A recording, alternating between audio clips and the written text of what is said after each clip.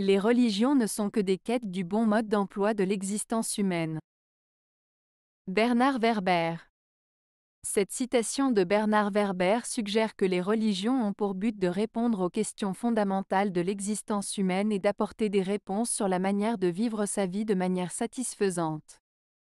Selon lui, les religions sont des tentatives de trouver le bon mode d'emploi pour mener une vie heureuse et remplie de sens.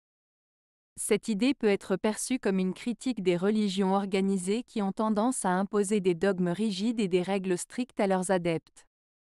Au lieu de cela, Werber suggère que la spiritualité devrait être une quête personnelle pour trouver les réponses à ces questions existentielles.